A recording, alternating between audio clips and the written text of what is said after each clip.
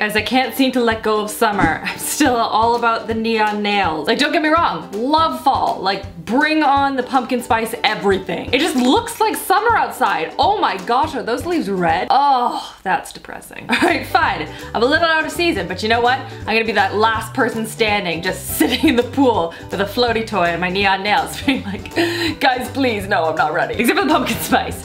Pumpkin spice is welcome. Hello everyone, I am here today, as promised, from a video I did, I think last week or the week before, here with a drugstore haul. And I was at Walmart buying this stuff. The lady, she was judging me. She was very good about it, but like there was some serious judgment. Yes, I know, I love makeup. So I have a bunch of new stuff from the drugstore that I wanna share with you guys today and we're just gonna dive right into it. We're gonna go over some of the products and in two weeks, in case you are new to my hauls, I'm going to be doing an update for you guys, sharing with you my favorite products, my least favorite products, what worked, what didn't, all that fun stuff. So without further ado, let's get into this. Okay, so the first thing I wanna start with is what I'm most excited about, which is the fact that e.l.f. is now in Walmarts in Canada.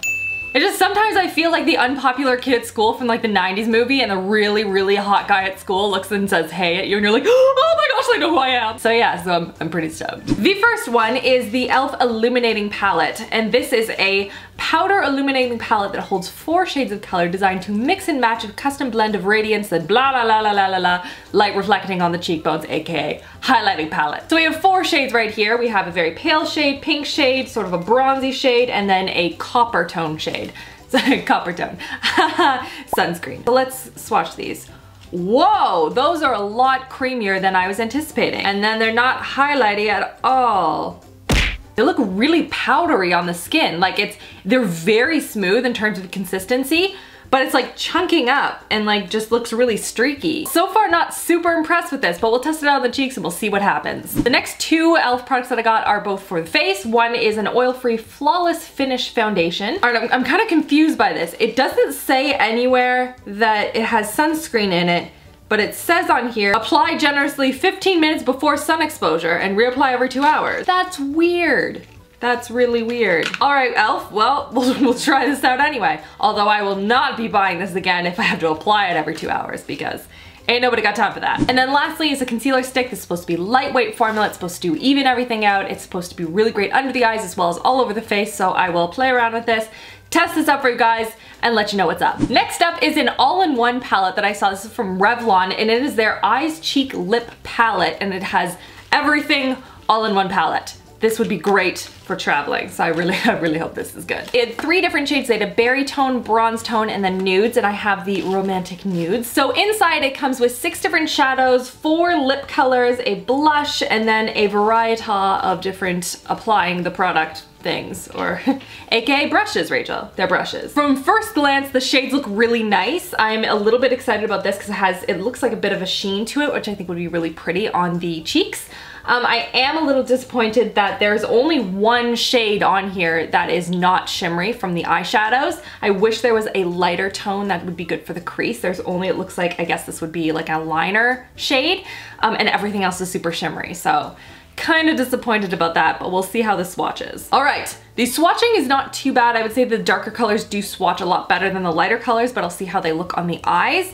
Um, the formulas themselves aren't as buttery and smooth as like the e.l.f. ones that I swatched earlier. They're a little bit more on the dusty, chalky side.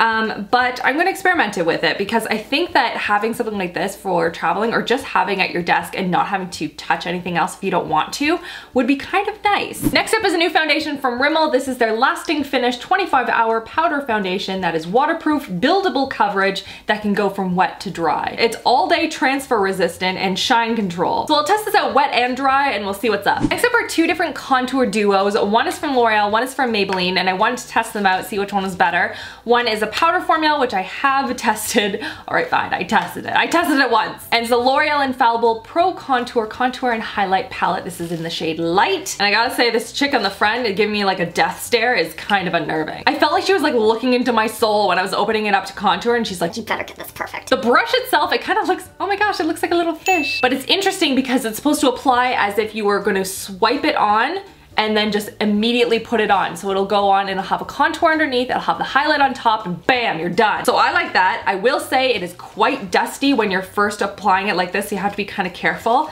Um, but I'm gonna play with it a little bit more and experiment with it. But so far, kind of an interesting concept. And then the other one is from Maybelline and it is their Master Contour V-Shape Duo Stick. So it has a contour on one side and it has the highlight on the other side. I have a feeling that these are going to end up being very smudged and blended and it's just gonna end up being like a, like a bronzer stick by the end. But I'm gonna give it a good shot. We'll see what happens and I'll keep you posted. Next up are two lip products that actually launched in the springtime but I wasn't able to get my hands on them so I finally found them in store and they are the Maybelline Shine Shots and one is a glassy top coat and one is a prismatic top coat. I believe these launch at the same time as the Color Jolt and you're supposed to apply them on top of the Color Jolt if you're choosing and it's supposed to add this sort of different dimensional effect to the lips. So I thought I'd play around with that a little bit, show you some swatches in my update and let you guys know what my favorite way of wearing them are, which one is my favorite of the two. This one looks very glittery. I'm really hoping that it's not like little kid makeup kind of glittery. And the Shine Shot I've heard a lot of good things about to get a really nice glossy lip, but I thought that would be a fun little test, so we will see. Now onto a mascara that I was really excited about when I bought it until I brought it home and I need to share this with you guys because I think this is really not very nice of companies to do this. And don't get me wrong, I love marketing. I love the whole like eye-catching words and something to draw people in because this totally did it with this product,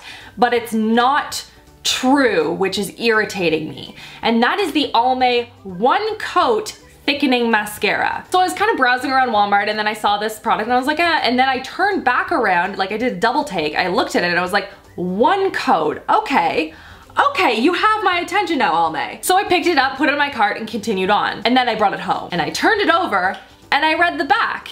Let's go through this together, shall we? One Coat Thickening Mascara builds 100% thicker lashes for one clump-free application, with an asterisk at the bottom. Use two coats, 25 strokes each. One coat, two coats. One coat, two coats. This is really misleading if it's actually you need two coats of 25 strokes each. That is very different than one coat in my opinion. So um, just wanted to kind of give you guys a heads up as I purchased this, thinking it was gonna be one coat and it was not. I will still test it out because I bought it, but really kind of disappointed in that. All right, back into positive things. Next up is some new products from NYX, and these are their NYX Lid Lingerie's eye tints. I got three different shades. We have Rose Pearl, Night Glow, and White Lace, and I wanted to see what they look like on the eye because they look beautiful. All right, so we got a little sponge applicator here. This one is, which color is this? The Rose Pearl color. Okay, it applies a little bit on the streaky side, but then it blends out much nicer. The product itself, when you look at it on the actual applicator, it looks very thick and clumpy, but when you smooth it on, it's very light, very serumy, almost watery in consistency, which is gonna be nice when you're trying to apply it to your lids. But that is what Rose Pearl looks like, which looks like it's not very pearlized, it's very subtle. So I don't know how I feel about that one. It might look entirely different as soon as I apply it to the lids, and I might love it, but we'll test out the rest of them. I'll let you guys know which my favorite ones are and how I best uh, apply them and all that fun stuff. Next up is a little shout out for my Canadian girls. I'm not sure if this is available elsewhere, but I wanted to include in the haul because I have been getting so many requests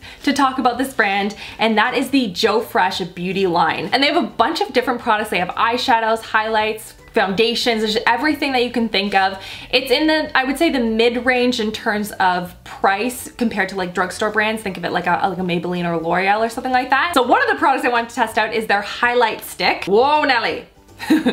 that is that is very highlighty. Let's blend that out. Still a little bit on the light side and that's coming from someone who is usually very pale. Like I can see myself wearing that when I don't have any self-tanner on. I think that might be very pretty. And the other product is an illuminating primer. This is in the shade Champagne. Ooh.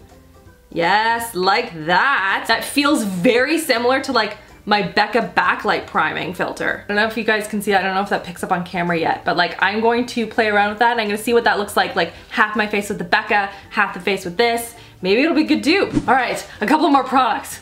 Whew, I bought a lot of stuff. Next up is another mascara. This was sent to me as a press sample, and this is the Maybelline The Falsies Push Up Angel Mascara. All right, so it has a push-up wing brush that sweeps lashes to the side while lifting and plumping from the roots. So it only has the bristles on the one side, and the bristles are very short towards the inside, and then they flare out, as I said, in sort of the wing shape to kind of flick your lashes out and have that beautiful winged-like look to the lashes. So we will play around with this. I am excited. This looks kind of neat. And then finally, the last product. This is by Maybelline. It is their Master Strobing Stick, which is a nice highlighting stick. sort of a like a pinky tone, more on the uh, cool tone side. Most of the ones that I see are more warm toned and champagne and pretty, but I really like the whole like shell pink color, so we'll see what this looks like. And that's everything for this haul. Give it a thumbs up if you love drugstore hauls and don't forget to subscribe so you don't miss out on the update that I'm gonna do in two weeks time and let you guys know what is up with all these products, which one's the great ones, which are the terrible ones and everything between.